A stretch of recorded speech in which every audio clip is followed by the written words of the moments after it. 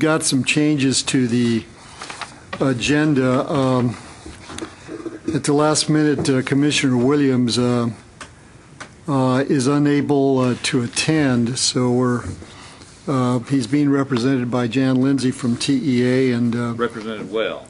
represented quite well. And uh, she's an old friend of this group and of the coordinating board, so welcome. Um, And uh, Deborah is not here, and uh, David, uh, you're representing her, so thank you for coming. And Phyllis will not be here, but Drew Cheverly will be here at some point. Um, I, it's unfortunate that, uh, that Michael is unable to come uh, because um, this is the last meeting that I will chair because, as you know, this is rotating uh, chairmanship and the, uh, the chairmanship of this body reverts to the Commissioner of Education as of uh, the, our next meeting. So I thought it would be valuable for him to have an experience of at least one meeting before he had to chair the group. So anyway, we'll, uh, I'm sure Jan will pass along to Commissioner Williams uh, uh, information about how this committee work, how this council works and so forth, and we'll go on from there. We did have a few. Okay, well, good, then we'll, uh, we'll, we'll, uh, we'll do that. Let's, uh, let's take care of some of the uh, bookkeeping issues, or logistical issues. Um, First of all, we have uh, consideration of uh, the approval of the minutes from the July 2012 uh, meeting. I hope you all have had a chance to look at those, and if, if I will entertain a, a motion to adopt them. So moved. Do we have a second? Okay, all in favor, please say aye. Okay. We are, they are adopted. We will move very quickly to uh, the next agenda item, which is uh, the uh, presentation by Commissioner Williams, who is being represented by Jan. So Jan, um, uh, please uh, go ahead with your remarks. Okay, and these will be very brief. Um, As Commissioner Paredes mentioned, Commissioner Williams was called away and unable to attend today's meeting. He had really been looking forward to meeting with this group and participating in some of the robust discussions about shared interests that are represented around this table. He did ask me to convey his enthusiasm for the work of the P16 Council and to let you know that he really is looking forward to sharing with you uh, his vision for public education and priorities. Uh, he also asked that I give you just a brief overview of a number of changes that have occurred at the agency, um, just so you'll have a better sense of um, what the structure is at this point. And as many of you know, a little over a month ago, Commissioner Williams accepted the position of, or appointment of Commissioner of Education at the Texas Education Agency. Um, just a few uh, things I'd like to let you know about his background. He was Assistant Secretary of Education for Civil Rights at the U.S. Department of Education and Deputy Assistant Secretary for Law Enforcement at the U.S. Department of Treasury. Uh, he's also a former adjunct professor at Texas Southern University School of Public Affairs and Texas Wesleyan University School of Law. Uh, he has been a chairman, past chairman of the Texas Juvenile Probation Commission, and a former honorary chairman of Big Brothers and Big Sisters of Texas. Most recently, he was former chairman of the Texas Railroad Commission. Um, in addition to uh, Commissioner Williams' addition to the Texas Education Agency management staff, Lizette Gonzalez Reynolds, uh, formerly one of the agency's deputy directors, has been elevated to chief deputy commissioner. Um, and last May, just five months ago, uh, Dr. Robert Duran, who is former superintendent at San Antonio Independent School District, joined the management team at TEA as Deputy Commissioner of Finance and Administration. Joining Dr. Duran is Michael Berry, uh, most recently from the governor's office, uh, who has joined TEA to serve as the second deputy commissioner responsible for programs and policies. And Michael worked at TEA before going to the governor's office, and so we're glad to have uh, him back along with his expertise. Um, TEA has been um, dealing with a number of uh, high profile issues of recent months. Uh, most recently, TEA has undergone sunset review, and we're expecting that report to be posted um, possibly by the end of this week. We've also been preparing for the legislative session, as I know many of the rest of y'all have as well. Uh, we've been preparing to respond to several school finance lawsuits. Uh, in addition, we're preparing a waiver to be submitted to the U.S. Department of Education and are in the process of soliciting uh, stakeholder feedback. Um, we've recently launched a college and career readiness online resource site uh, that we're excited about. And of course, we're continuing our work to support the teachers, administrators, and students uh, across Texas. So our plates are full, but we're honored to share responsibilities uh, for Texas children with um, those in the P16 Council. Thank you. Thank you very much for that report. Uh, we, uh, I, I, had, uh, I had lunch with uh, Michael a couple of weeks ago, and we had a, we had a very uh, uh, good conversation about how the two agencies can work together, and we are going to continue some of the work that was begun when Shirley Neeley was commissioner, and then when Robert Scott was in charge, and I think Michael will uh, recognizes uh, the need for higher education, public education work closely together. I, I will uh, distribute uh, comments, uh, um, my comments last week uh, in the State of Higher Education address, and in that um, in that speech, I talked about the need for higher education, public education to work more closely together, and I. I said we can't do our job unless K through 12 does its job, and K through 12 can't do its job unless we send them good teachers. So we have a, we, we, we have a lot of mutual interests, and uh, it's it's absolutely important that we work more effectively together. Um, what we do, uh, what we do it, uh, uh together has uh, ramifications for everybody that's uh, sitting around this this dais. So we we, we all know that uh, education, more education leads to better health outcomes. We know that uh, uh, better education leads to a more robust workforce environment.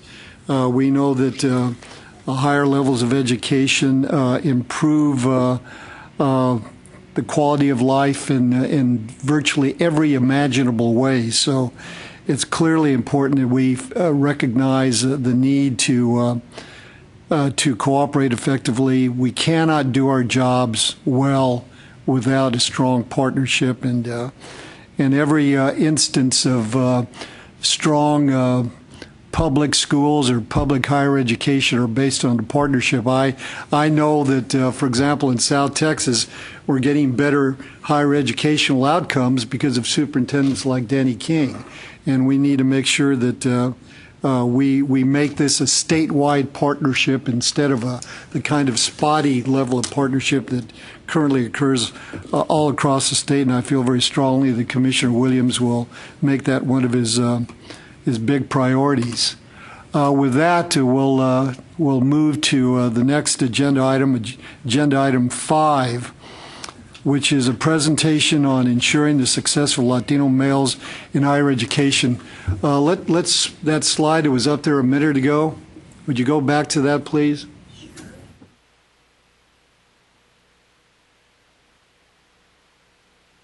Okay, can you blow it up and take away? This is this is this to me is one of the most uh, significant slides. Uh, actually, you can see it on the screen better than you can on the monitors here's here's uh, one of the, the fundamental challenges in uh, in education, not just higher education, but throughout the educational pipeline. Look at the participation of females and males, particularly among Hispanic uh, America, uh, Hispanics and African Americans. Uh, here's an interesting data point that a lot of people are unaware of. African American women have the highest level of participation in higher education of any ethnic subgroup. and you can see what it, you can see what it is. Our state goal is to have 5.7 percent of every ethnic group involved in higher education in Texas. And notice that African American females, 8.7 percent of African American women are enrolled in higher education. Once again, it's higher than the state average and it's higher than our goals. But look at the participation of, of African American males. It's 5.3%, below our goal of 5.7. Notice that for Hispanics, females are under our goal, but look at the participation of Latino males 3.8%, which will have devastating consequences for the Texas economy and for the quality of life in Texas unless we raise that number dramatically. Now, we've heard all kinds of reports about how uh, the reasons for this, and uh, people like John McWhorter have talked about uh, how we have to change some of the intrinsic values in African American culture and Latino culture to make learning and make academic achievement seem cool. But there's no bigger educational challenge in Texas than to raise the participation of males in higher education. By the way, the participation of white males is below our, our goal. So it's an endemic problem across all groups, but it's particularly severe for uh, African American and Latino males. And we have a, a we have a guest today who's going to explain to us what he's doing to address the issue of Latino males. Uh, uh, professor Victor Saenz, who's a professor of educational administration at UT Austin. And so, Victor, uh, welcome, and we're looking forward to your presentation. Thank you.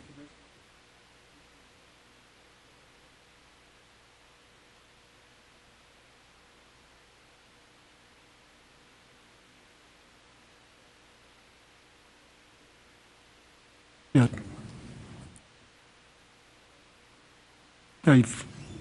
There we go. Okay. Yeah. So thank you again for helping to uh, set the context and, and establish the uh, urgency uh, of this particular issue.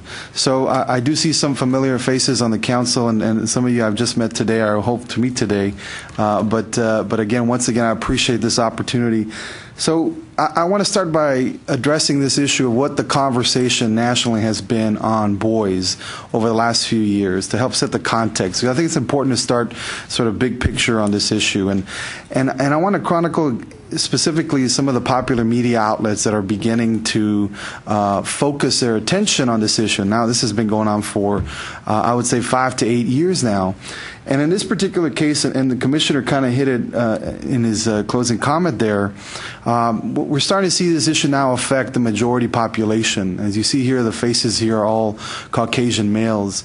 And so it's now reason, reaching a point, a sort of a critical mass or resonance with respect to the larger conversations around gender inequity in this country.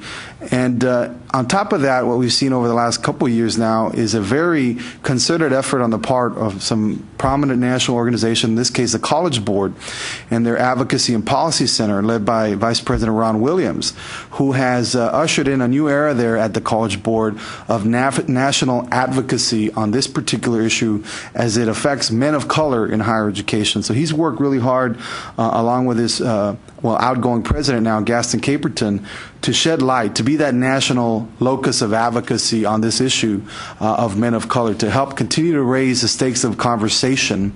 A conversation that, to this point, for the most part, has been uh, framed around sort of very negative, deficit type of tones around the experiences of, of young urban males, uh, primarily African American and Latino males the work I've been doing the last few years has been more, uh, more sort of to the point, to the urgency and the demographic reality of a state like Texas, or for that matter, the rest of the country in the very near future. And that is the plight facing Latino males as they matriculate or not matriculate, as it were, through their educational pipeline. But I want to start with this con- with this broad context to give you a sense of what the conversations have been because they have been ongoing, and uh, and ultimately uh, I'll acknowledge in a little while that you know the coordinating board has been very very uh, proactive in in making this issue a statewide imperative, uh, codified into the 2010 revision of closing the gaps. And I want to sort of tip my hat to the to the uh, commissioner, to his leadership, of course, to the coordinating board uh, for for for making this issue putting this issue on the table as a significant policy imperative for the state of Texas. Uh, part of that sort of imperative has shaped the, the reasons that I'm addressing I'm addressing this work currently as a researcher at UT Austin. But I'm not doing it alone. I'm doing it with a, with a whole host of partners across the state, and, I, I'm going to share that here shortly. But I'll start also by saying that this notion of a male crisis in education continues to be um, sort of fly below the national radar of our attention and our consciousness. And part of it is there's still a lot of skepticism around embracing any sort of boy or male agenda in this country. You know, we still have a long way to go with respect to reaching gender equity or parity, and we still have things like the persistent wage gap, which is still 78 cents on the dollar in 2012. It's about 82 cents on the dollar here in Texas with respect to what women earn as compared to male, controlling for education and experience. So there's some persistent gender inequities uh, that, that we still have some work to do on. And uh, we've ushered in 30, 40 years worth of federal state policies designed to help level the playing field. As a result of that focus on gender equity in terms of education and employment outcomes, uh, we've neglected somewhat what's happening with our boys, in particular our boys of color, and in particular within this sort of growing demographic reality of a state like Texas, the rest of the country. And ultimately, what it equates down to is a gender gap, a growing gender gap. So, what is that gender gap? I'm going to show you some data to help illustrate that point. In particular, around these metrics, these key metrics that all of us care about with respect to finishing high school, getting into college, and ultimately earning a degree and joining the workforce. So, uh, a national data, this is federal data looking at 18 to 24 year olds, uh, we can see that right around 1990, the two lines here with respect to higher education participation began to diverge uh, for males and females. And a similar trend is evident also for, in this case, the comparison group white males and females, again, to the point we raised earlier. So this is endemic to the broader society here. It's not specific or unique to the Latino community or the African American community. We're seeing it across the board, across all various groups. Uh, this is in higher ed participation. Now, if we look at the output um, in terms of degree attainment, uh, in 2010, of all the associate's or bachelor's degrees earned by Hispanics in this country, uh, better than three out of five were earned by Hispanic females. Right, so this is a trend now that we have seen um, develop over the last 20 or 30 years, roughly from the early 1990s when I first went to college, uh, and we're seeing continue to grow uh, over the last 20, 30 years. Um, so we, are seeing this evident both at the two-year college level as well as at the four-year college level. Now, bringing it closer to our state context, um, you know, here's data from uh, from the cohort, seventh grade cohort from 1998. And in reading through the minutes earlier, I noticed that uh, that Mr. Granger was here last last meeting from the Houston Endowment and shared the report uh, that they commissioned with NCHEMS. And so they highlighted the use of this data uh, in looking and in tracking, in that case, an eighth grade cohort all the way from 1998 to present day. And so this is a very comparable cohort here, again, statewide data that, that illustrates yet again, uh, in this case, the proportion of all African American Hispanic males that were seventh graders in 98 that eventually either grad- enrolled in, in some form of higher education. And you can see the statewide average was just over half of all students, but for Hispanic males, it's well below that, as it is for African American males. Now, more to the point than this is that report from NCHEMS, the new measure of educational success in Texas.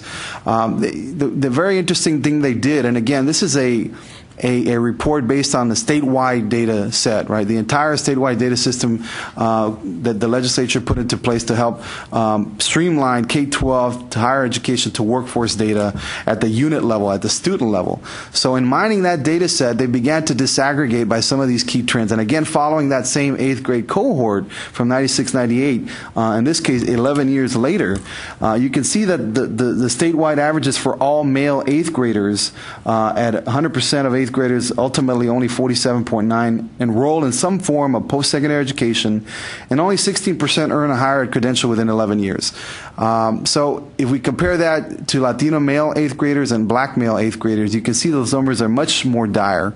So again, the point here being ultimately, I want to illustrate where the gaps are, the fact that in, in, a state like Texas, they're perhaps even more poignant, and as a result, there's greater urgency around being responsive to this new reality.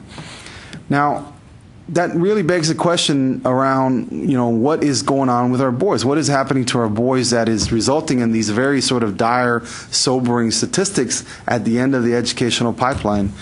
And in the work that I've been doing in canvassing uh, my colleagues that do work in early childhood development all the way through secondary and post-secondary education success, you know, we have to consider the broader portrait of challenges that face young boys uh, as they matriculate through uh, their educational pathways. Beginning with the, the uh, high stakes era of, of, account- of testing and accountability here in this state that we helped to usher for the rest of the nation over the last 20 years. So it's resulted in a sort of culture of testing as we know, and I, know, I realize this is not the the session to be discussing that, but that has certainly created a certain environment with respect to our elementary education classrooms in the state of Texas. Uh, on the opposite end of this uh, chart, you see that uh, point here about teaching ranks. So in the nation, we've seen over 30 years now the teacher workforce is now 85% white female, a significant change over the last 30 years in terms of the makeup uh, of the teacher ranks or teacher corps. Uh, and as a result of that, the classrooms that many of our boys are uh, are matriculating through tend to be populated by by such teaching. And as a result, also we don't see reflected uh, teachers in any sort of critical mass unless you grew up in different parts of the state, like I did in, in, in the Rio Grande Valley, uh, that is not sort of reflective of that community. So um, the research on on teaching is key here because it's not to say that somehow male teachers are better than female teachers or Latino teachers better than non-Latino teachers at educating these kids, but there isn't enough of a critical mass of teacher corps to really uh, bring to bear any definitive uh, empirical evidence on, on these uh, assumptions that we're making about those early childhood classrooms. We do know that boys and girls learn very differently. We do know uh, that this era of accountability has ushered in a one-size-fits-all approach, has diminished the role of, of creativity and innovation in terms of teaching methodology and pedagogy. So as a result of that, it's creating a very constricted uh, pedagogical paradigm that many of our boys are matriculating through. Now, the last two points there at the top I want to highlight because these are really key and I think they speak to the larger uh, endemic and systemic challenges at work. And that is the continual overrepresentation of Latino and African American boys in the special education ranks. Uh, and also their continuing overrepresentation in the school discipline pipeline. Now, two years ago, the Council on State Governments, uh, the Justice Center, authored a report utilizing the same statewide data system that I, that I spoke about earlier. And in that report, they, they, they, they found that, you know, for black and Latino boys, adolescent boys, uh, they're significantly more likely than their peer groups to ultimately experience some form of what we call discretionary discipline. And the category discretionary discipline is important because these are not mandatory offenses like a kid bringing a knife to school. These are discretionary, meaning the adult, the educator, the professional interprets the existing school discipline policy. In those discretionary cat- categories, black and Latino boys are significantly overrepresented, significantly statistically overrepresented. Right? Upwards of 85% of African American boys in their study have experienced uh, either one suspension or one expulsion uh, from seventh grade all the way to 12th grade. The rate is about 78% for Latino boys. Now, the other finding that's really key here is that ultimately boys that were expelled or suspended were three times more likely the following year to end up in the juvenile justice system. Three times more likely. And we know ultimately from there that leads twice more likely joining uh, and, and, committing some sort of serious felony to end up in the in the in the real criminal justice system. So we can start looking at these data and the overrepresentation in special education. Uh, again, the data on there highlight the fact that boys of color, Latino African American boys, are again significantly overrepresented in the kinds of categories um, that are sort of the behavioral, uh, developmental challenges, etc. Overrepresented relative to the general population. So these are trends we cannot ignore with respect to how uh, our school schooling systems across the country are serving or perhaps uh, disservicing the needs of these boys as they try to mat- matriculate through. Now, ultimately, in arriving a summary of the entire K 12 experience, um, and I can certainly keep going on with the sobering nature of these statistics, but I want to highlight that many of these symptoms are systemic and structural in nature and not a deficit of the boy or a problem of the boy, but rather the set of support structures that are failing these boys, that are pushing them out of the classrooms because teachers may be unable to di- properly diagnose certain developmental needs or perhaps not wanting to deal with these boys. And certainly we have to draw those uh, speculations and conclusions because of their persistent overrepresentation in special education, in the school discipline categories, on and on and on.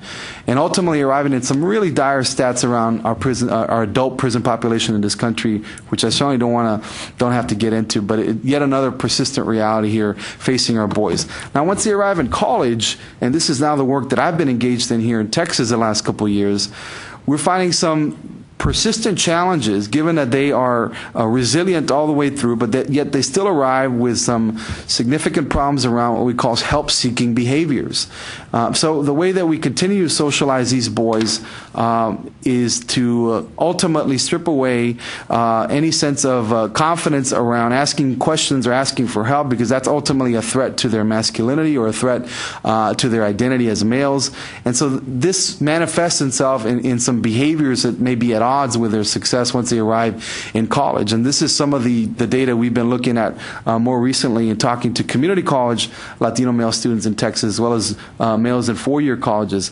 They have difficult finding a sense of a space, a safe space on a college campus, finding an affinity to a specific group or whatnot. Part of that is a result of underrepresentation, but ultimately also about how uh, receptive and responsive our higher ed campuses are being to providing these nurturing spaces uh, for these young men. So there's this persistent cultural mismatch, the, the, the types of academic expectations that, that are laid upon them that don't square well with the way they've been, they've been socialized around what it means to be successful, what it means to be uh, male, in particular Latino male.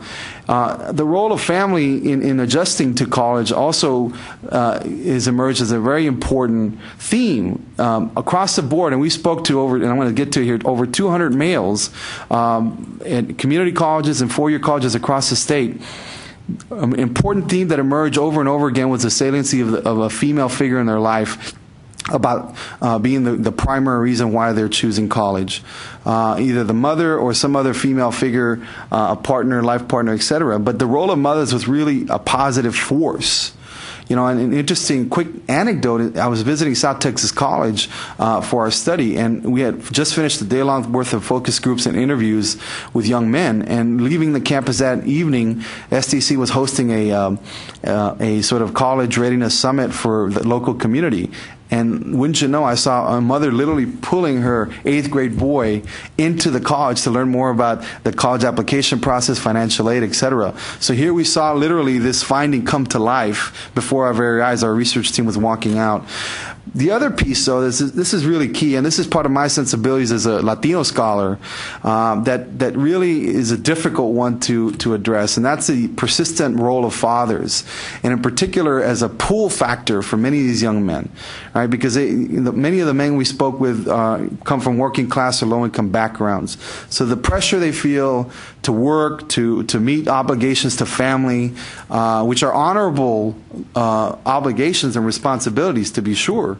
Uh, but nonetheless, sometimes those pressures and that those expectations, which are reinforced primarily by father or father figures in their lives, uh, an uncle, sometimes even the mother, um, are, are really a key obstacle for many of these young men to ultimately finish. Right. So that pressure to work, and granted, the more and more it costs to go to college, the more that opportunity cost goes up as well. So that that continues to be part of the challenge we're going to have as educators as we look to if we if we have made this issue a statewide imperative. How are we, our educational institutions, our social uh, community institutions responding to these realities on the ground for many of these young men, whether it be Latino, African American, white, you name it. Uh, these are realities I think that we can ultimately transpose to these other groups as well to some degree. But they were particularly salient among the many Latino males that we spoke with.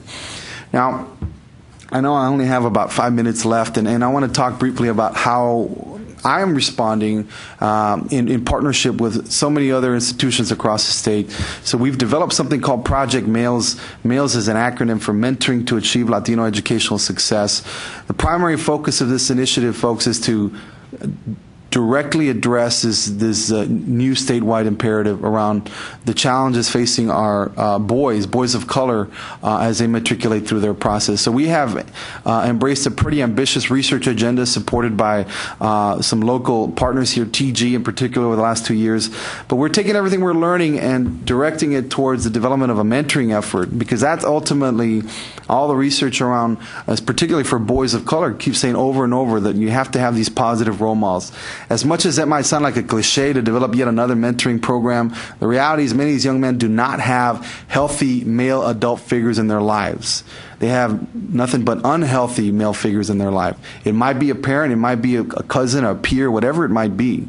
Uh, so we have to continue to stem the tide of that negativity with, with opportunities to, to place these young men in front of and, and, and to interact with positive forces in their lives. So we're embracing this idea of mentoring, and in particular, a near peer strategy of mentoring, because we feel the best form of mentoring is often males that are not that much older than these young boys. So uh, we, we're in the process process of, of developing some of those uh, uh, mentoring curriculum right now at the University of Texas.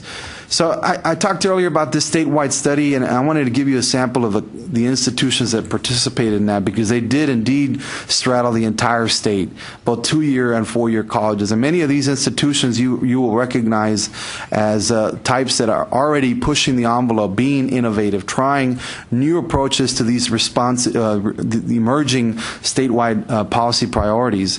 And uh, and so I have begun a an effort now to leverage this statewide network of institutions uh, that has answered the call set forth by, by, by the commissioner and by the Closing the Gaps report to make this a statewide imperative. Uh, and each in their own way have, have already begun very concerted and proactive efforts to start male mentoring or male focused initiatives, success initiatives at their respective campuses. I was at Tarrant County College uh, two weeks ago, two weeks ago visiting with Chancellor Hadley, and uh, they just received a Title III grant to start a system or district wide set of male mentoring initiatives across all their campuses, just to give you an idea. And that's one of the members of this uh, burgeoning consortium that we're developing. And lastly, I'll say that we, we are now leveraging this consortium uh, in a very strong way. I just received a word a week and a half ago from Dr. Wynn Rosser, the Greater Texas Foundation. Uh, GTF is going to fund a, a Texas Higher Ed Consortium on Male Student Success that we're leading out of UT Austin to the tune of $700,000. Uh, UT Austin is stepping up in a big way to, to serve as that, uh, to provide that statewide infrastructure. And, I had the, the, the great privilege of, of, sitting down with the commissioner and his staff just three weeks ago to describe this new initiative as we continue to look for innovative ways to, to leverage the expertise that exists on the ground at, across the entire state of Texas here to bring to bear on this new statewide imperative uh, to focus on males of color, in particular Latino males. So we'll continue to utilize this uh, important statewide network uh, to be responsive to this uh, this new reality that we're facing with. and, and, ultimately, what I want to focus on is uh, I'll leave you with a couple of uh, examples of promising programs that are that, that we have uh, come across in our work, in our research work, and now more more more recently in our programmatic work. Um, several initiatives across the state of Texas. So, for example, Fathers Active in Communities and Education uh, is a program that started in South Texas. Alfonso Rincon is the uh, director of that effort that came to be through a Gear Up grant uh, about eight nine years ago, and they work directly with school districts and colleges in South Texas, uh, primarily in the Kingsville and Corpus Christi area, uh, to, to put on a variety of different programming, all designed to to get the father directly involved in the teaching and learning process during the school day. Many of these kids don't see their their, their father until you know after school, if at all. And and uh, so this is a, a really innovative uh, curriculum that they've developed to help infuse the father directly into the school day.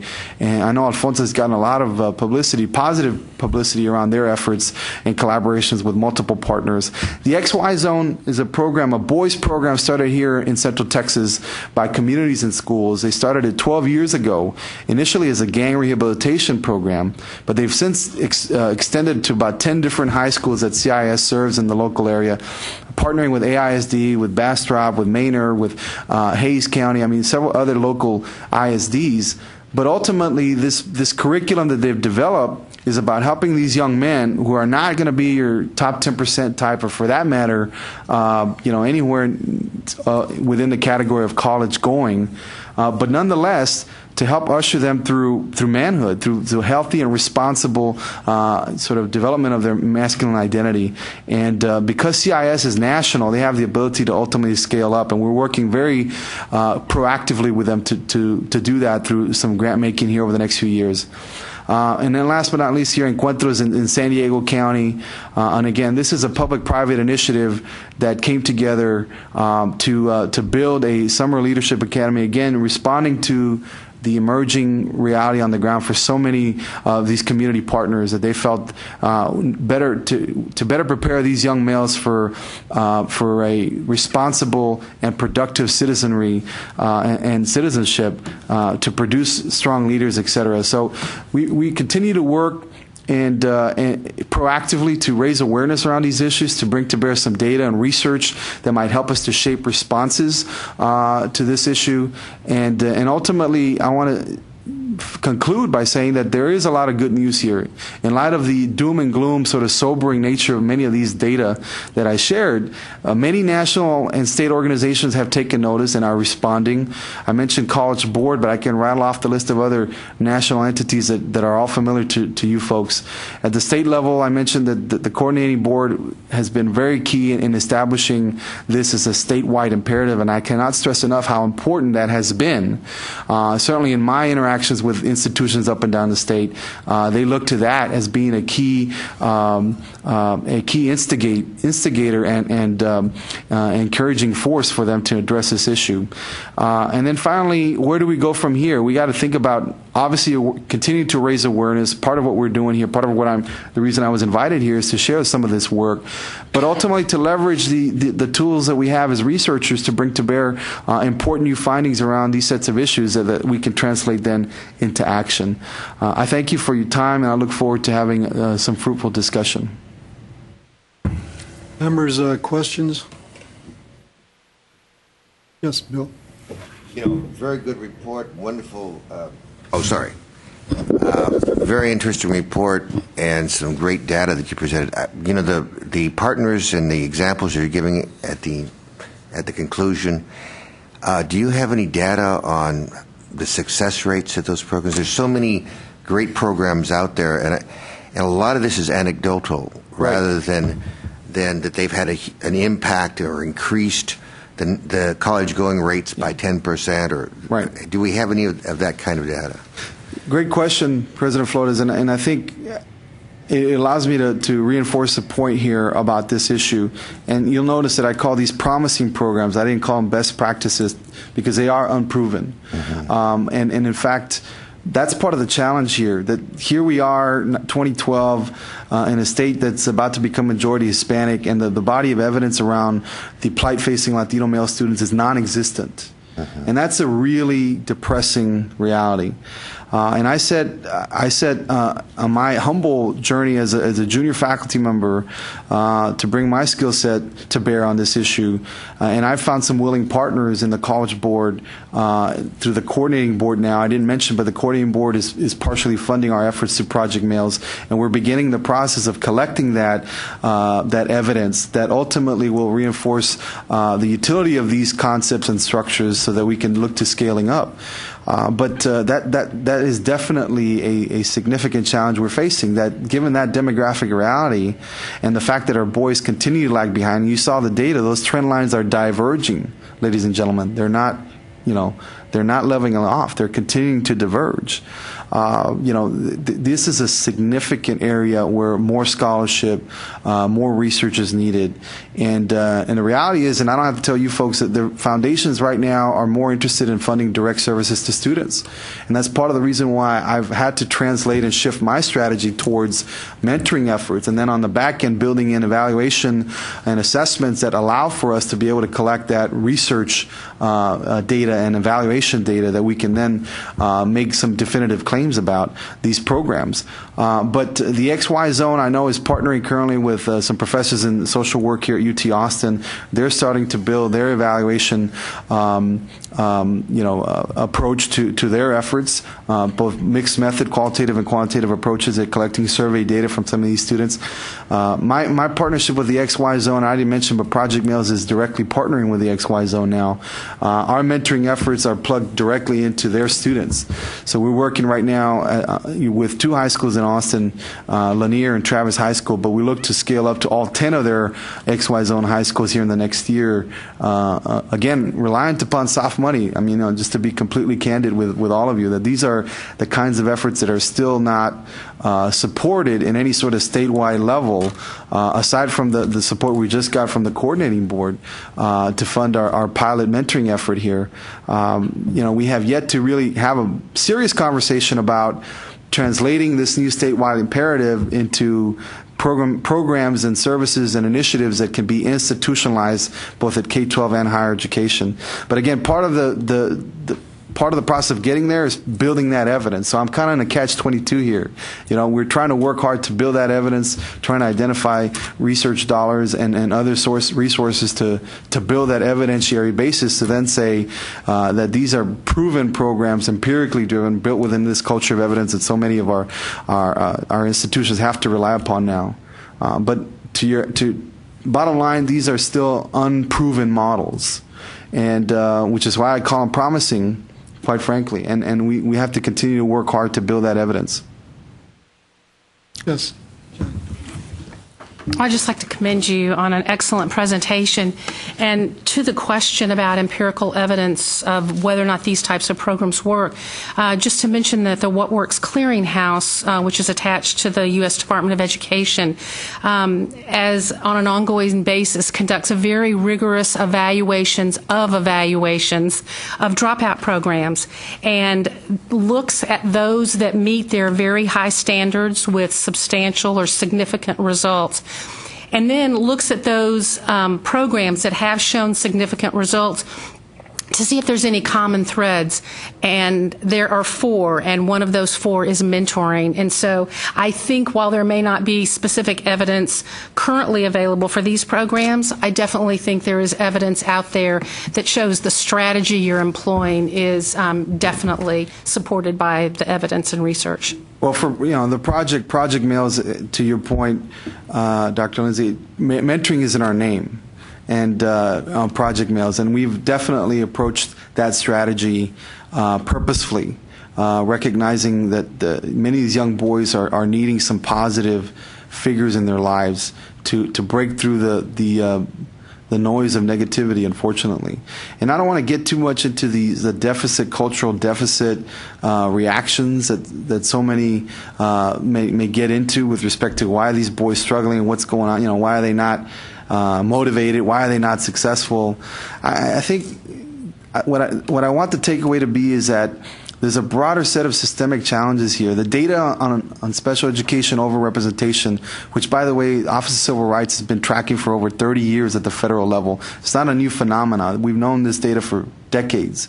Uh, the overrepresentation in disciplinary categories, I mean, that speaks to the way that we are training our teachers to be responsive to needs of students in the classroom, to not just want to kick these. And I'm speaking as a former classroom teacher myself in South Texas, to not just want to get these guys out of the class. Because I mean, that is a mentality. If I can speak really candidly about what is going on with so many of our boys, the fact that our teacher corps is not reflective of the broader population, that's a challenge. That means that many of these life experiences that maybe uh, male teachers such as myself might have are not reflected among the critical mass of teachers that are in these classrooms.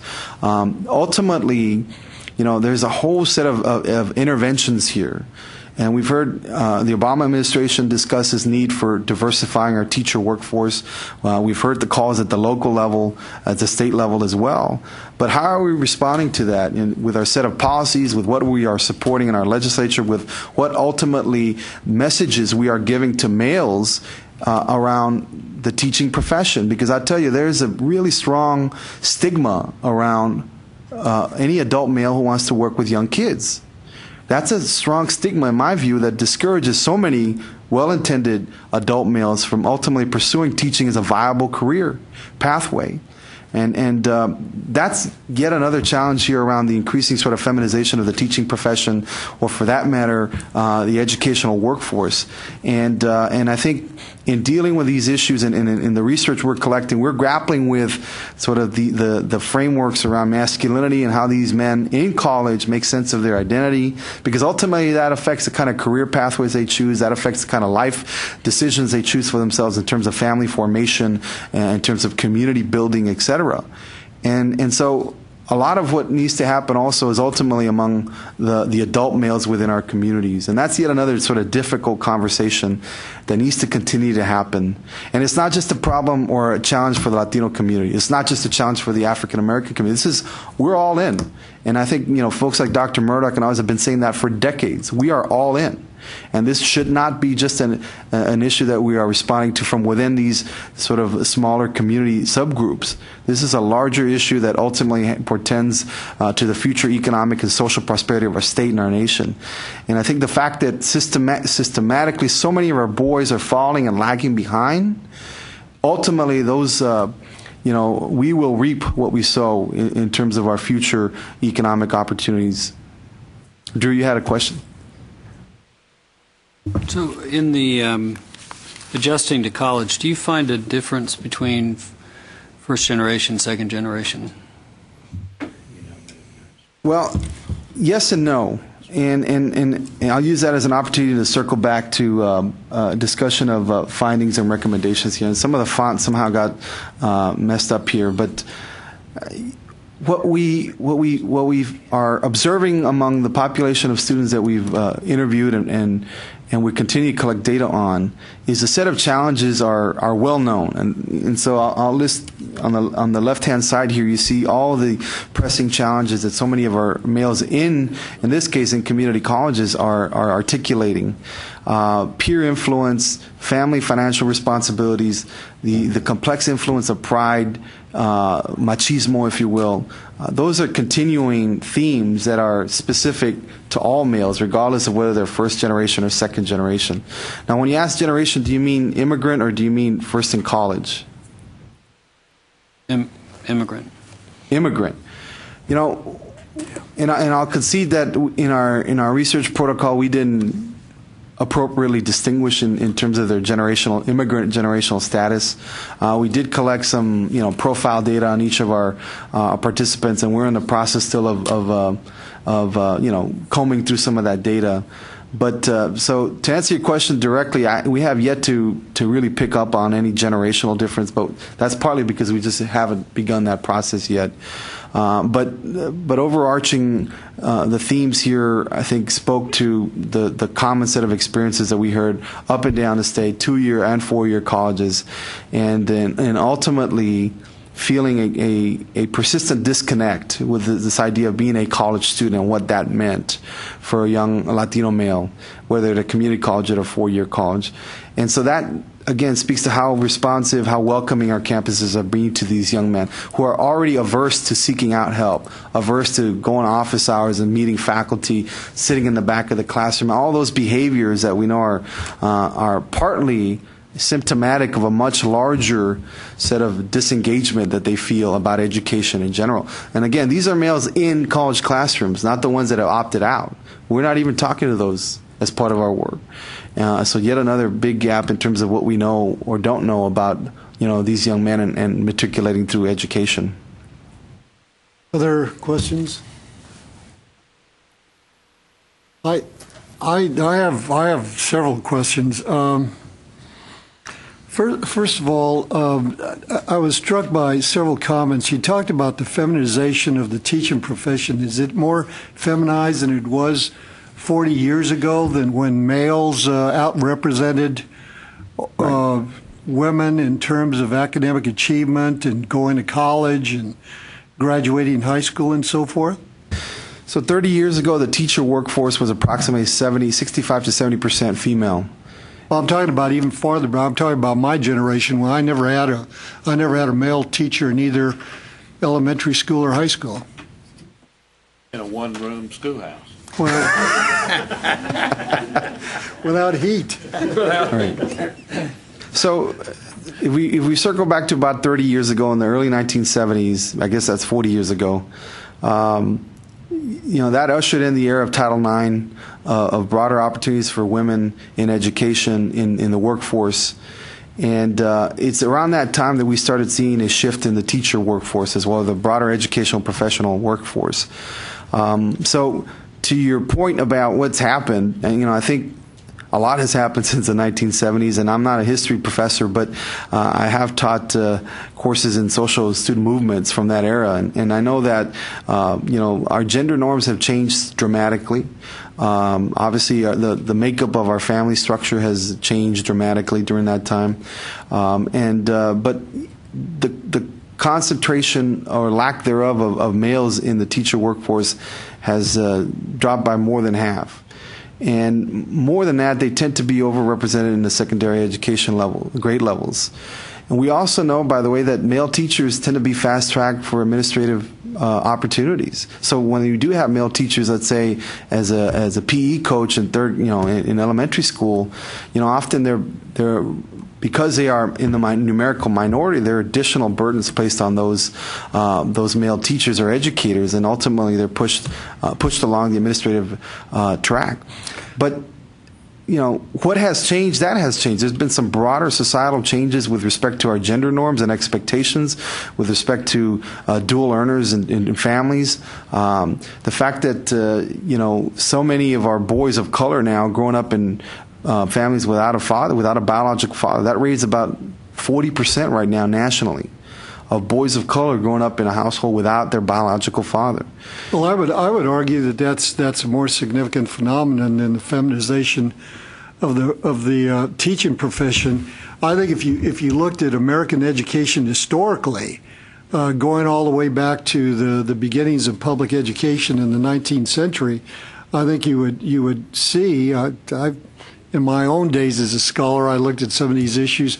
I, I think you would see that that uh, the uh, teaching profession was overwhelmingly female, and yet up until the the 70s, uh, men still outperformed uh, women in school, still went to college and in uh, higher going rates when the teaching profession was even more feminized than it is now. Because I think if you go back prior to 1970, it may well be that the teaching profession was 90% women, and yet men were still outperforming women. And I would argue that, that probably the most important factor was the, the, the, the growing absence of, of male figures in the home it places a greater burden on the schools to respond to the needs of boys. Uh, the the other the other question I, I, I, another question I had was you, you talk about uh, you talk about things like uh, disproportionate uh, availability of, of, resources, unequal distribution of school funding, underprepared teachers, high teacher turnover, uh, the flight of affluent families, poor leadership but those affect girls as, as well as as well as boys. Right.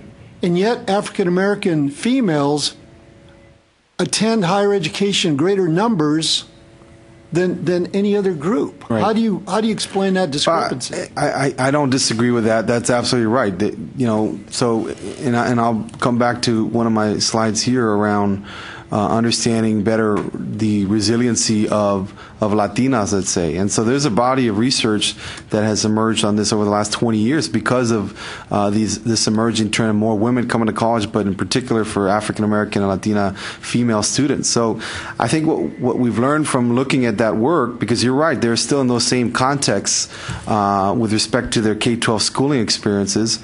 But the, the difference has to do with the levels of self efficacy, uh, with the fact that they come to college with with exceedingly high degree aspirations, uh, you know, and, and they maintain those aspirations throughout through throughout their the, their their experience.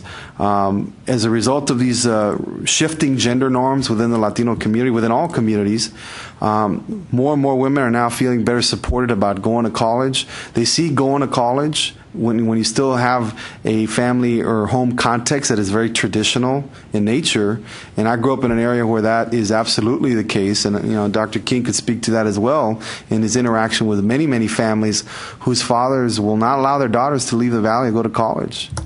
Uh, my, my, my wife is a prime example, if I could use that anecdote, of somebody who had to literally leave her home to go to college. We met here at UT Austin.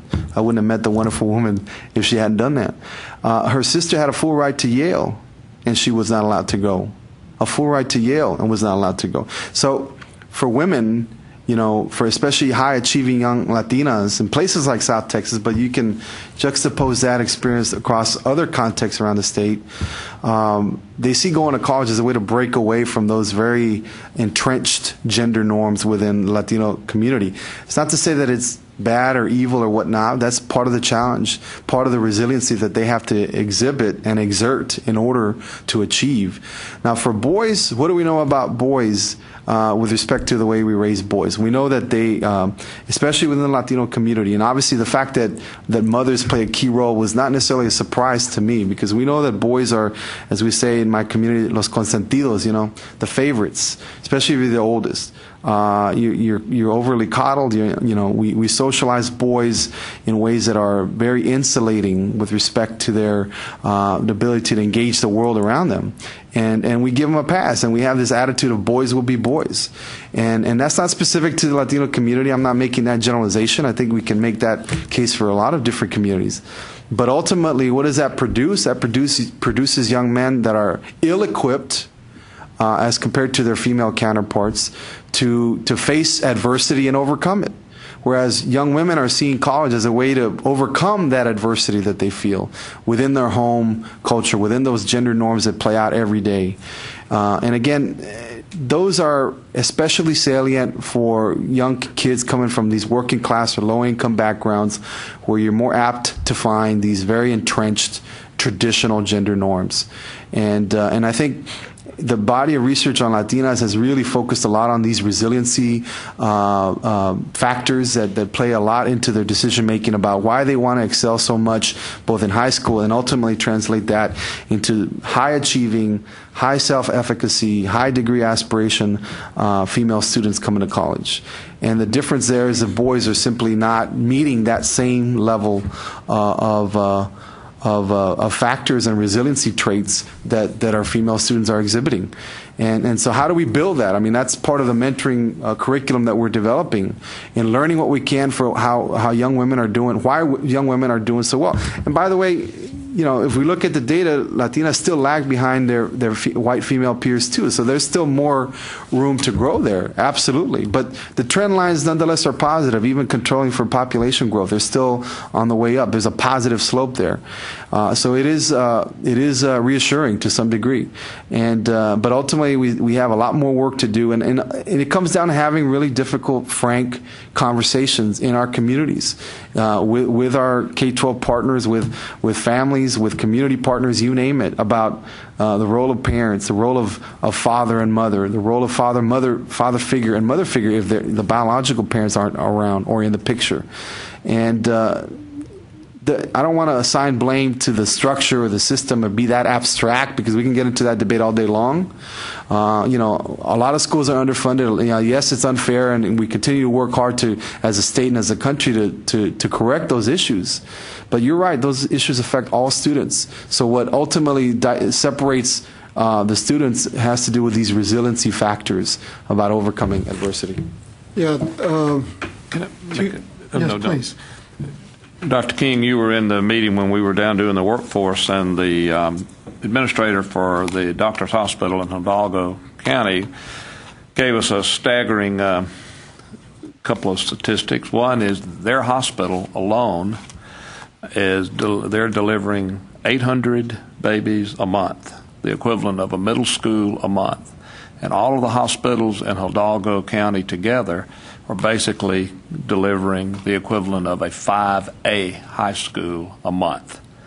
So this is an issue that we better get a handle on because, as you said, what our population is doing, where the concentration is, is a big issue. Dr. King's doing great jobs down there, by the way. I- I've I've got, I've got two more, two more questions, uh, very, very quickly. Um, Have, have you or others done some research on the correlation between, uh, for, for all boys, but particularly for African American and Latino boys, the correlation between performing poorly in school, including dropping out of school altogether, and the absence of a male figure in the home? You know, I, I have not done that work. I know that there's some family researchers that look a lot at those specific issues. Uh, I know the data. I know the data is, is very dire. When you think about 30% of African American boys growing up in a house without a father, without a biological father, um, about 40% of Latino boys. That's, I mean, that's the majority right? And that is a significant and staggering number. And so the questions and the consequences that anthropologists and sociologists and policymakers, all of us have to ask is what, what are the long-term consequences of this, these persisting trends? And it's not at all to dismiss or disrespect the important work that grandmothers and mothers have to do because mothers are often mothers and fathers grandmothers you know whatever it is right that's why mother figures and father figures right uh, we look at the, the terminology there are key. But what we know about raising healthy, uh, well balanced uh, young kids is that there, there has to be balance, that they have to have positive influence both from female figures in their life as well as male figures in their life. So, to the issue of what, you know, how the effect of a 85% teacher workforce being female, you know, many of these young boys, and to your issue, Dr. Perez, you know, they don't have a male teacher maybe up to eighth or ninth grade, if at all. So, you know, what does that mean about the kinds of positive male figures they have? If they're not, if they don't have one at home, and, I, we know the majority of them do not, if they don't see one at school, then ultimately, where do they find them? They find those male figures in their life. And for many of these young boys, ultimately, those are very unhealthy male figures, peers um, within their neighborhood or community, uh, or other unfortunate figures in, in popular media or whatever it might be. But ultimately, we can't take it for granted anymore. And I feel uh, having these difficult conversations about the role of family and community. Uh, as much as our, our national state politicians go on about local control, I can't think of a better local control issue than, you know, how it is we're raising our boys right now. Good. Uh, first, thank you for a great presentation on a very important topic. And this is more just some comments related to what's happening in the, I mean, the Health and Human Services uh, agencies. Um, first, this disproportionality. Uh, one of the other areas that there's significant, historically has been significant disproportionality, has been in the child protective services, with the chances of a child being brought out of the, the family and put into uh, protective services or into foster care much more much higher in the African American community than in other ethnic groups. And interestingly, it's independent of the racial background of the caseworker that's making that, that, that decision. And so for the last decade or so, under the leadership of Joyce James, who now leads the, the, the Center for Dispropor- Health Disparities and Disproportionality for the Health and Human Services Enterprise, they've had a pretty focused effort on changing that, uh, and and have had ma- have made a change, uh, and you know still a challenge, but but an area that they continue to have a major focus on, and so might be somebody that would be worth you know pulling into this this type of dialogue. The second point. Um, after the last legislative session, uh, there was direction to the Attorney General's office related to the involvement of fathers um, before the child is born, bringing in to make sure that fathers are involved during the pregnancy, are involved when the baby is born, so that there is the attachment there, that they there's some education of what it means to be a father. And uh, uh, again, that's been an initiative that's been going on for the last year or so under the direction of the Attorney General's office. Beautiful. One, Wonderful. um, one, la- one last question, uh, Victor. Uh, have, have you or any other researcher um, corrected or for class, for socioeconomic characteristics? What, what happens? What, what happens to uh, this this um, uh, this issue regarding uh, uh, male success in education. Right. If you take socioeconomic factors in, into consideration, for example, do middle class Latino families, in terms of their the educational attainment of their of their boys, do they resemble other uh, white African American middle class Right. families, or is there still a significant gap in The- educational attainment? The data that we've looked at, Commissioner, uh, shows a persistent uh, gender gap uh, um, across socioeconomic status. Now, it, it definitely lessens as the, the further you go up because of the whole host of other factors that come into play. But I'll tell you, if we can look at the uh, the example of University of Texas at Austin, which has, for the most part, on average, a pretty affluent student body relative to other public institutions across the state. I think it would be a safe assumption to make. And even at UT Austin, we look at the data, African American Latino males are, you know, again, lag behind all groups with respect to degree attainment, four year, six year graduation rates, well below the, the, the, the university average.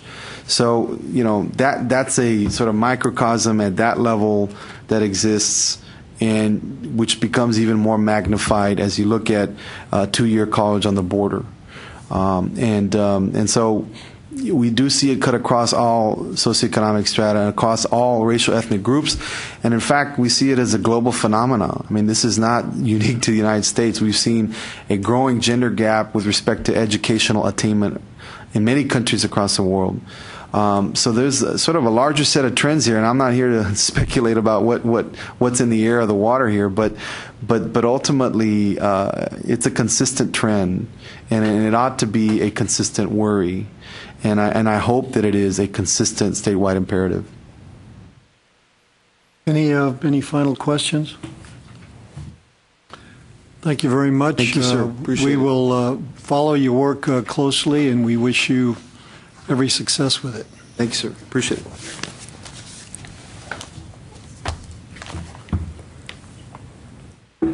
Let's move on to the uh, the next uh, agenda item, which is a consideration of approval of the P16 College Readiness and Success Strategic Action Plan 2012, and Dr. Judy Loredo from the Coordinating Board will make this presentation.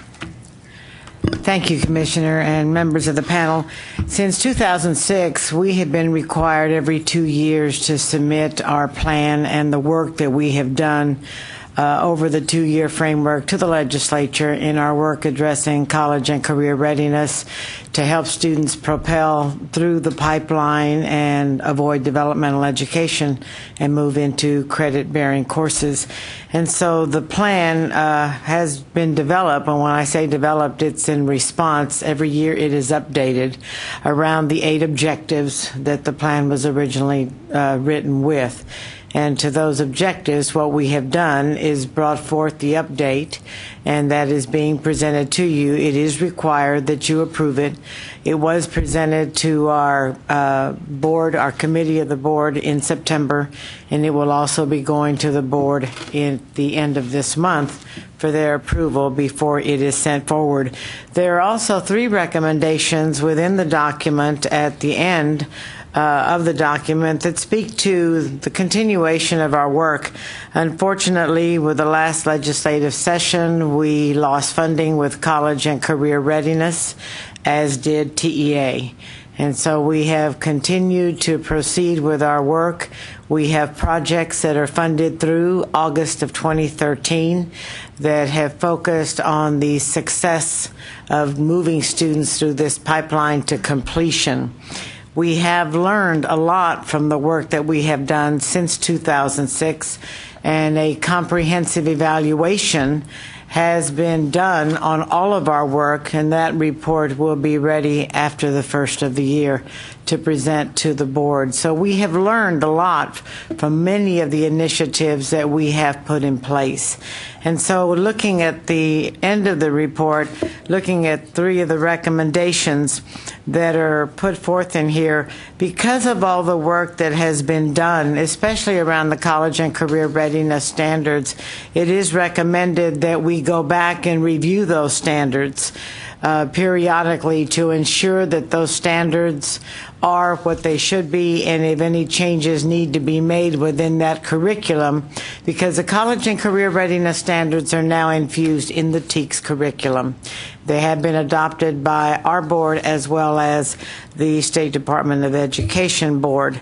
The second recommendation is because of our work around professional, around uh, developmental education and the work in the field around curriculum, that we continue that professional development career work, especially as we're looking to move students through the pipeline so that there's a really clear understanding that when we move students out of the K 12 arena into the post secondary arena, that it also very clearly means career, technical, or a four year degree route.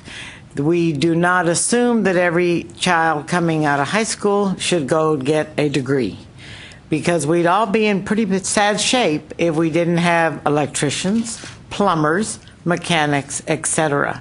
And all students have different passions. They don't all want to have a degree, and we know that to be successful and a contributing member in society, you do not have to have a four year degree. What you do have to have is a skill level leaving high school to make choices so that you can enter into the workforce if that's where you choose to go the first route and not uh, proceed into academic training, but it's the skills that students are needing once they leave high school. It's not the same world when you, uh, Mr. Temple, when you tease a commissioner about his school days. Well, uh, I go back about the same amount of time, and that curriculum that I learned was the same curriculum I was working with today it would be a sad scenario for the people that work with me because I would be so far behind. So the world is different, and we need much different skills for our students to make choices. And the last thing is we look around our work in developmental education under the leadership of uh, Dr. Suzanne Morales Vale and her staff, Terry Daniels and Linda Munoz in, in ABE, we have learned a lot from the projects that have been funded uh, things that are working, things that are moving that needle and propelling more students into credit bearing courses and not having to go the segue into developmental education. It is not fixed. But there are things that are working. And we now need professional development across the state to work with current faculties who are in this area to help them learn from those who have helped make those changes.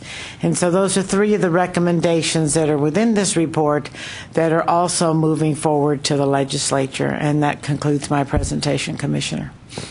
Well, uh, explain uh, to us why th- this is an action item for the council and, and, and why we have It to is take vote. required under your uh, purview as the State P16 Council to approve this because the original work of these objectives came via this route through the P16 College Career Readiness Initiative.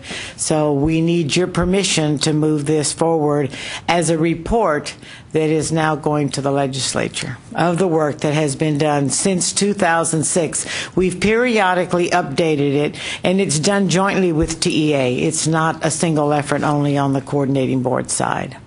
And since this is an action item that we have to take a vote on, I want to make sure that uh, I, I want to make sure that everyone uh, on the council understands uh, this uh, document and uh, has an opportunity to uh, ask questions. Uh, I I call your attention to uh, if you look on page seven, objective five: create a college-going culture in every public kindergarten, elementary, middle, and high school in Texas.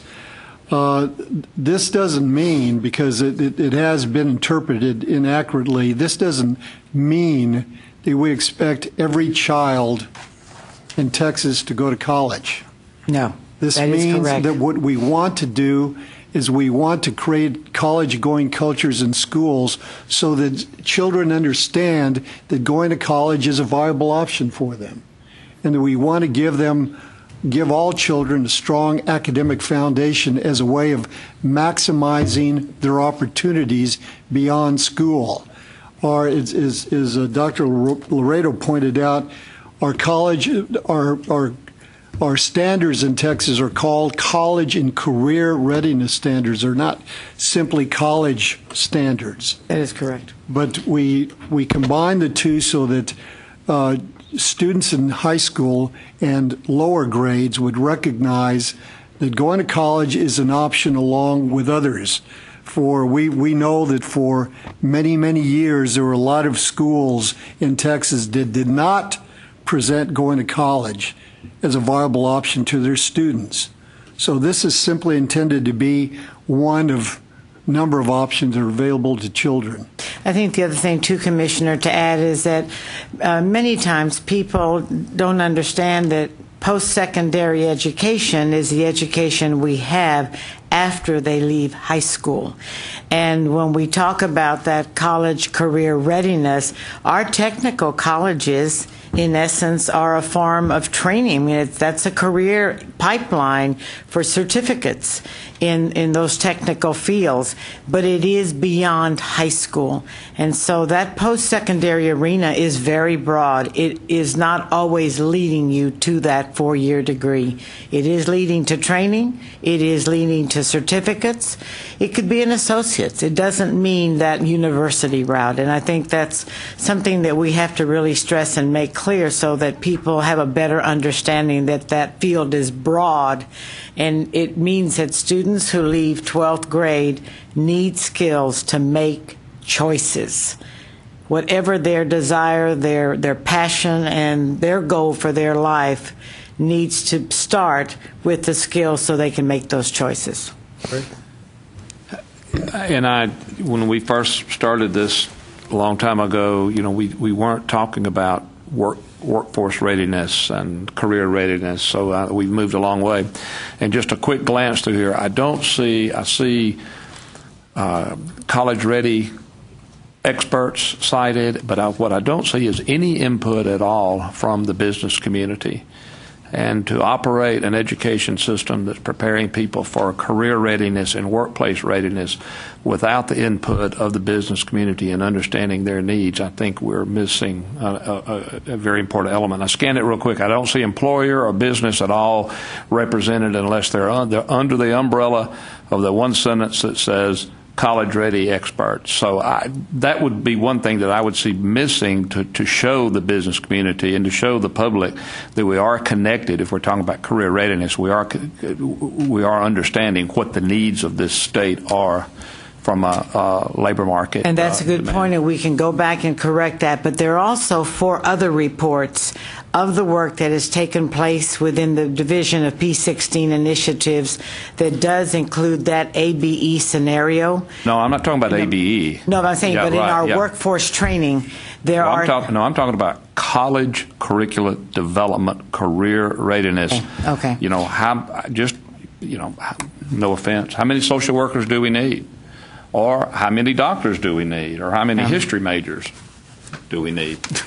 and that is, and that, I, your point is well So- taken, and we can go back and clarify Great labor that. market information that we use and y'all utilize, and I think that the message that we are taking, that from an economic development standpoint, Mm-hmm. just like the, the, the presentation we had earlier, that's an economic development issue for this state. That's something we have to address if we're going to be, you know, a viable competitor in, in, the, in the world market and, and to be able to, to attract businesses here. Um, you know, good news is we have a very young population compared to the rest of the nation, but you just heard our challenges with a lot of that population. Certainly. So I think it sends a great message to not only internally in the state, but for those looking at making investments in the state that, that we are taking those things in consideration. So above, uh, above and beyond the ABE world. And we can certainly go back and do that and, and make that a comment also to our board when they go to move it forward. Great, thank you. Yes. Is it, uh, is it urgent that we uh, approve this document today, or is there time for us to make the kinds of uh, edits and corrections that Larry referred to? It and goes bring to, the- it goes to the uh, legislature by December the 1st. Okay. But we can certainly make that correction and send it out, and then, so before, because our board meeting does not meet until the 25th. I mean, we can just approve it subject to. Subject to those revisions, those. yes. And we, Okay. can I can send it back. Everyone agrees, I just, it just, Yeah. uh, Okay. Subject change. And I, and, and I can I, I can certainly um, uh, assure the, the members of the council that we will make those corrections. In fact, I'd be willing to send them to you, Larry, to- so that you can take a look at them. We can do that. That's not a problem. I think there's some places where it could really fit in well and- Okay. and make the point. Okay, well, we can do is send this to you electronically where you have some thoughts, and if you would share that with us, we will make that, those changes, and then present that to our board as well. Any other uh, questions, Drew? So the connection between the recommendations in this item and, uh, and then agenda item eight, what's the connection between those two? Well, I, I think they're related because what we're talking about is, is uh, proposals uh, uh, that uh, we're going to uh, talk about in regard to sending to the legislature.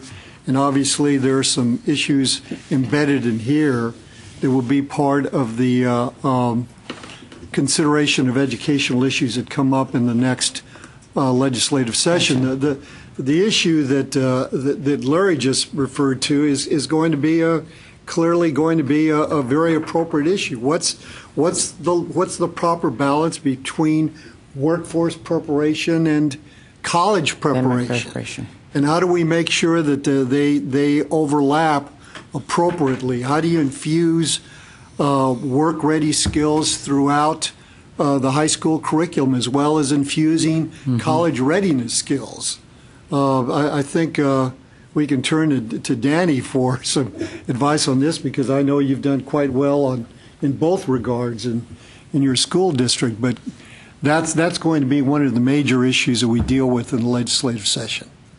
So I I think that uh, we will strike that, that proper balance, but uh, clearly that absence of balance in this document that Larry just referred to is something that's going to be a very important legislative issue.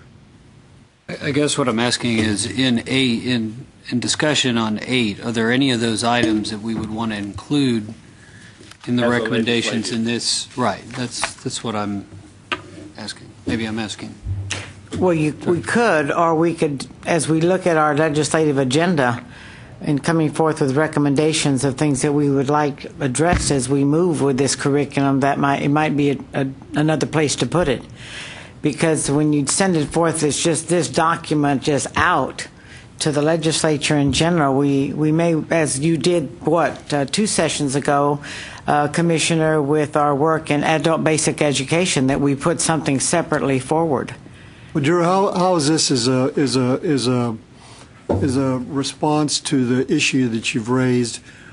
Why don't we hold off taking a vote on approving this document with the suggested changes that Larry has already uh, recommended?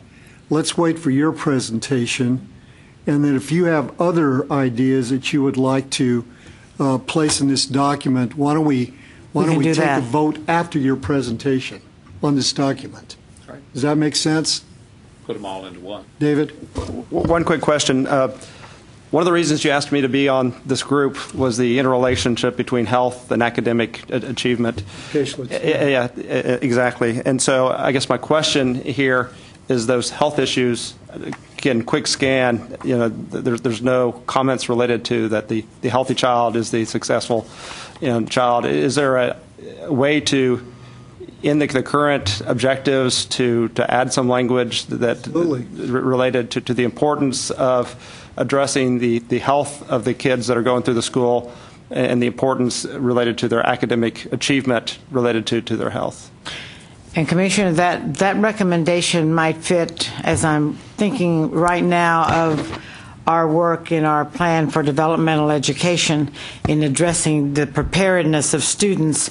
Uh, there is a section there that that might fit, really fit much better than putting it just, it doesn't mean you can't speak to it in this document, but there is a vehicle there in an objective where that might be able to be added much easier because it, it just surfaces under that advising, that uh, degree plan placement. When I say degree plan, the the plan of action for helping students improve, and you want to make sure that when you bring students that are that are in going into developmental education, and whether it's one course, an accelerated course, that you have a healthy child that's moving forth. And so there may be a way to we can add that in that one caveat as well. That's why I'm saying we have a state plan that's moving forward. Well, There I, might be some I, good I would. I would suggest uh, in regard to, to David's comments that, that we do it in both places. I, since this is the general document, the overarching document, uh, statements about the correlation between uh, doing well academically, doing well educationally, and being healthy uh, is, is is obviously a central point that we have to make. And I I suggest that uh, why don't why don't uh, we uh, uh, wait for you? We we're kind That of on a strict added here. timeline. Why don't we we wait for you to to uh, recommend places where those kinds of uh, references can be made, and certainly in the overview, we can make a statement about the, the relationship between uh, health, good health, and and good educational outcomes. And we have the other plan that we can add that as one of the objectives in that as they develop the plan of action for students, that that also be addressed. That can, that can be, a that's a real, there's a place to really, really have that connection in there. Yeah, and that's that's precisely the the point of having the membership that we have on this council to make sure that uh, although clearly the focus is on educational outcomes, it's important to note the relationship uh, between good health and educational attainment. It's important to note. Uh, that we have a large number of, of, of children with special needs that have to be attended to, and we need to make sure that uh, we talk about all of these issues in this overarching document. So I agree. We'll we'll make we'll make those changes. Um, if it's uh, if it's agreeable to the membership, uh, why don't we uh, listen to uh, Drew's uh, presentation? Then we'll talk about taking a final vote on this document. So why don't we? can, pres- once you have done that and we've heard the presentation, you have your recommendations, we can send it out electronically so you can scan through it and see where you would think it best fits, and we can make those changes, resend it out to you, and then uh, it doesn't go, like I said, till the end of the month to our board. Yeah, we can take the vote electronically. Yeah. Yeah. Okay. So why don't we proceed to item, uh, agenda item eight, and um, uh, get this presentation from Drew. Great. Well, thank you for the opportunity. I would, I would say that uh, presentation is probably a bit overstated. I, uh, when we were asked for our input, put together a couple of uh, uh, items that um, had seemed to be important, but this is this is the best PowerPoint you're going to have on this. So, No, your uh, comments then. Yeah, there you go. so, you know, I think for you know, governor deserves a lot of credit. Several years ago, he created the Governor's Competitiveness Council. I believe you were on that, and um, several uh, were on that.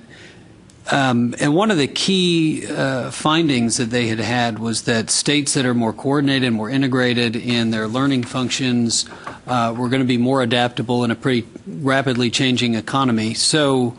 Um, I saw many of the uh, thoughts, suggestions, recommendations as in the in the vein of systems which can converge, systems which can simplify, um, and can become more effective because of that convergence and simplification. So. Uh, I don't think any of the uh, recommendations I put down there are in front of you. So I'll just characterize them orally, but I'd put them into three categories. One was sort of a better understanding of demand-driven need, and I think to to what uh, um, what Mr. Temple was saying about uh, employer data, we we have quite a bit of it. I think there's still some additional data we could pull out that could help give an even better sense to the higher ed and K 12 side. Uh, one thing that happens a lot in regional chambers is that we do business retention and expansion visits where we'll talk to the CEO or the senior executive of a primary employer and we will ask them about what are the impediments to, to, to adding jobs in Central Texas. So we'll take them through a series of, you know, probably about a 45 minute series of questions that can ask about what kind of hiring they have, what kind of specific hiring um, concerns that they're having, and what kind of skill levels that they're having uh, difficulty hiring. Then we can take that more granularly down to the HR level. But we do this with about 300 executives a year in certain key areas so that we can get information about how to remove barriers to job growth. So the first suggestion had been to, to create a statewide BR&E portfolio where we're modeling what we want to be growing in this state, um, and that we would be having um, these kind of conversations. It can be driven through chambers or it can be driven through the Workforce Commission, but it can be building out that information set about primary employment um, in Texas and uh, and where we may be seeing hiccups.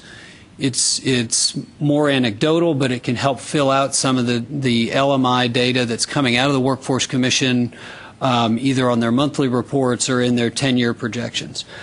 The second is in the Work in Texas platform, which is extremely well used. I think is a platform, um, you know, as technology is iterated very quickly, it, it may need some look at updating the platform, which is a state cost.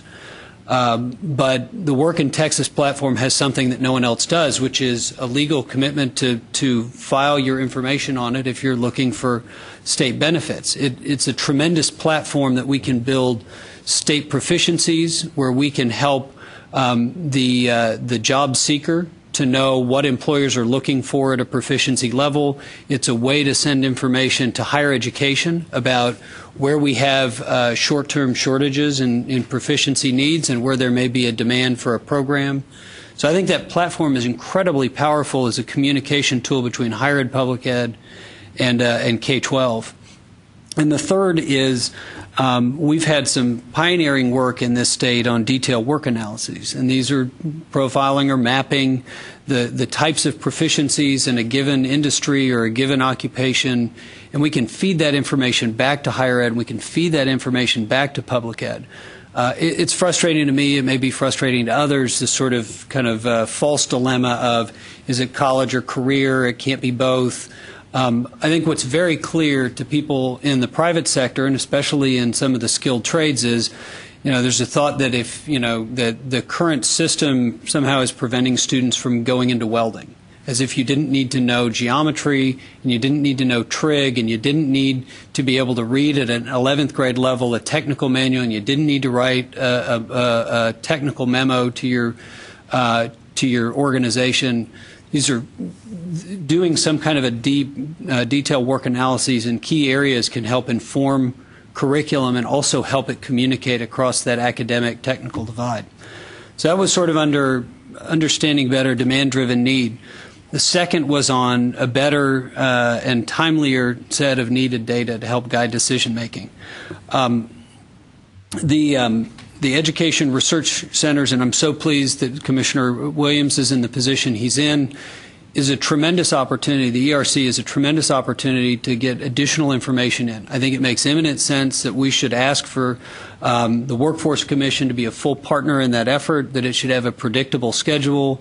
Um, but the ERCs are a really critical way for us to figure out how to improve um, post-secondary preparation, post-secondary readiness, enrollment success, and subsequent enrollment into the military or into the workplace using UI wage records. We need to be integrating these systems, reducing the cycle time, and allowing researchers, uh, including PhD students, the ability to, to, to feed us information and to feed the people that are working in the trenches information about how to help reduce cycle time and improve outcomes. Uh, in that also in that vein is to accelerate the Texas State Data System, which the agency has been in partnership with. You know, in in this Austin being a software town, a five-year rollout would be considered, you know, almost uh, understanding that public sector is one thing. A five-year rollout is just a very long period of time. Um, that's about um, probably 21 business cycles in the software industry. So, how do we accelerate this platform uh, with the data system, and how do we integrate that data system in with Work in Texas and make sure that these can talk to each other and iterate um, at a faster level? The third is better transferability. This is a highly mobile state, a highly mobile population. Um, dual credit, which was a legislative decision back in the early 2000s, um, had been a way for the system to uh, validate having community college provide academic courses in the high school and to make sure that students had the ability to buy down the cost of higher education, improve the rigor of the classes they were taking. Um, I think it's important for us to say that this is a critical integration tool, and dual credit is an appropriate way to integrate. Um, it is an inefficiency. We do overpay, but I think it's one that's it's an, it's a valued and necessary one that helps uh, accelerate folks to be ready for jobs that exist today. As a related one is the advanced technical credit. And the advanced technical credit, in my opinion, is one of those great P16 or P higher ed or P workforce uh, efforts where you're trying to define the knowledge somebody needs and holding as variable where they receive that knowledge and where they learn that knowledge. The advanced technical credit means you can take it to any high school in the state or any community college in the state and not end up getting tripped up by this uh, almost kind of feudal system of articulation agreements uh, between community colleges and individual high schools or individual districts. So I think putting additional uh, um, um, motivation and, and uh, influence behind the advanced technical credit as a way to allow students that are going to be mobile to take credits earned in Houston and take them to Austin and take them to um, uh, Wichita Falls is going to help uh, reduce costs to Texans and it will increase uh, successful outcomes. F- finally, I would say that um, you know be the the uh, funding for the Texas grant is something that I think is so critical to this state. Um, the Metro Chambers of Commerce have again said that this is our big priority to make sure that it is 100% funded. This probably exceeds the jurisdiction of this group, but I think it's a tremendous way for higher education to signal to students what they need to do to be ready for higher education. And the changes that were made last year were so important in telling students not only that they need to take a well rounded course of study, but they also needed to be ready to do college level work to increase the likelihood of success. And so the best way that we can encourage students to do what we're asking them to do is to make sure that if they do what we ask them to do, there's a Texas grant at the end of that. So those were a set of recommendations that I was putting forth um, and uh, um, we're, we're, wanting to put forward to your consideration on better integration of, of, uh, of all of our efforts. Any, uh, any questions or comments? Well, I, that I was going to say that took all of mine because I think Drew covered all the points I was going to bring up under number eight, or, or most of them. But I think very, very, you know, I think the continued funding and maybe consideration of making permanent the, the funding of dual enrollment. I think I think the studies have shown the, the impact that that has, and I think that the Texas grant, uh, you know, I think if if if we're serious about really wanting to, to reach the goals, uh, I think I think having the Texas grant available to the young people that that meet uh, that criteria is very, very important. And I do think also that more, um, getting even more intentional about um, linking together uh, uh, the uh, both the workforce needs and areas we want to grow and prospective future areas with uh, with the with the interrelated uh, college and high school work is is is uh, you know is really a uh, an area to focus on. So I think that I think that you covered those areas very well. Any? Uh, th- those are really good suggestions. Any more? Yes, uh, Larry.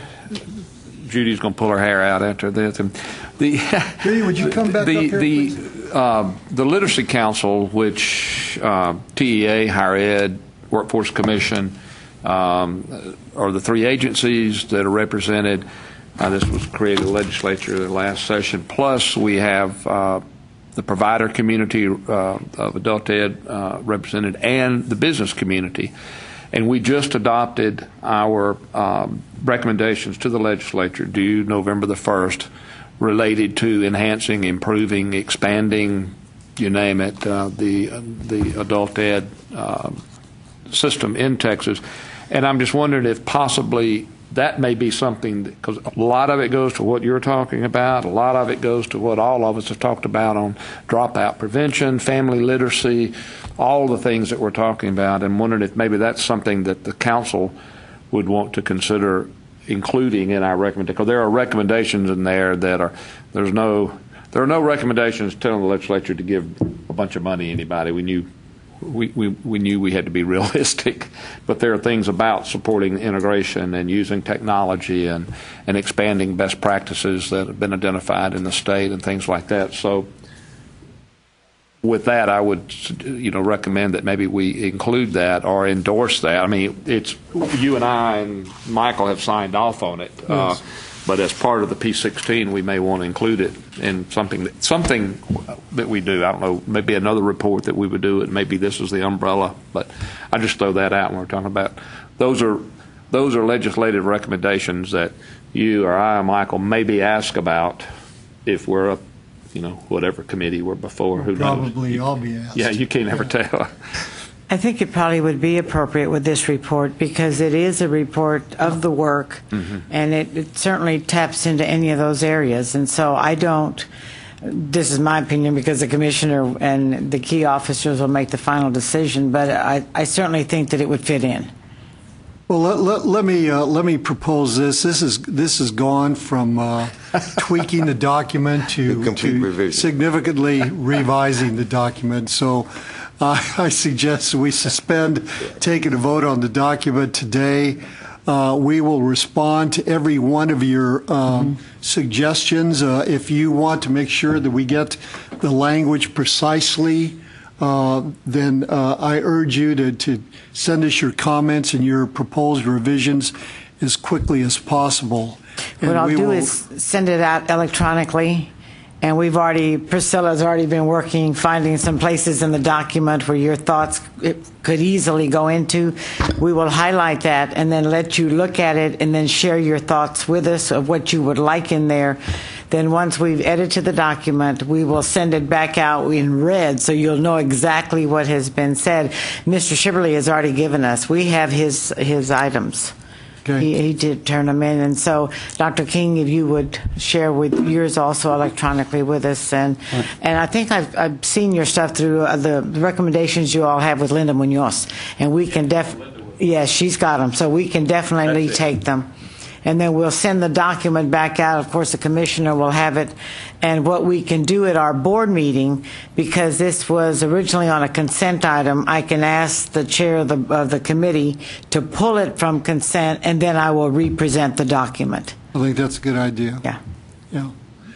Well, these were these were very good suggestions, Very and we'll follow up appropriately. Uh, we we probably uh, I suggest that uh, while some of these ideas are fresh in our minds, we, we meet to talk about revising this document when when this meeting is over. Not a problem. And you Um, will be getting the document by the time you're back at your office. How's that for service? Yeah. We've actually come to the end of our agenda, which Yeah. is uh, A record. record time. Um, So I will, uh, knowing that we have to follow up on, on this particular issue very quickly, uh, and we will, I will uh, entertain a motion for adjournment. Second, all in favor? Thank you very much.